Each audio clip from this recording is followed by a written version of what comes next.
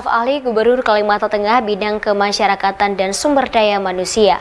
Suhemi hadir sekaligus membuka kegiatan fokus group discussion di Hotel Best Western Batangkaring Palangkaraya pada Rabu 6 Juli 2022.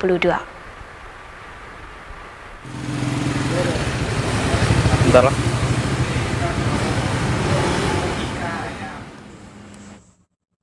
Fokus grup discussion yang diselenggarakan oleh BPJS Ketenagakerjaan di Hotel Best Western Batanggaring Palangkaraya ini merupakan rangkaian monitoring dan evaluasi penerapan instruksi Presiden nomor 2 tahun 2021 dan peraturan Menteri Dalam Negeri RI nomor 27 tahun 2021 serta optimalisasi pelaksanaan peraturan Gubernur Kalimantan Tengah nomor 3 tahun 2022.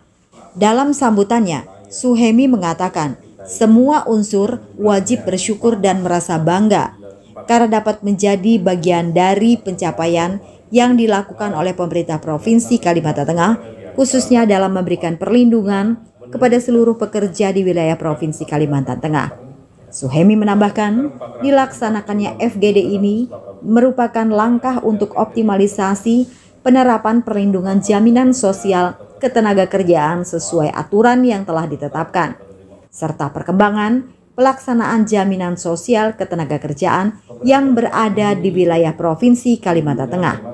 Perlu diketahui, laporan dari BPJS Ketenagakerjaan jumlah coverage kepesertaan Provinsi Kalimantan Tengah pada sektor penerima upah sebesar 239.430 tenaga kerja atau sekitar 53,57 persen dibandingkan jumlah angkatan kerja di luar ASN, TNI, Polri, dan sektor bukan penerima upah sebesar 39.286 tenaga kerja atau sekitar 8,5 persen dari pekerja informal.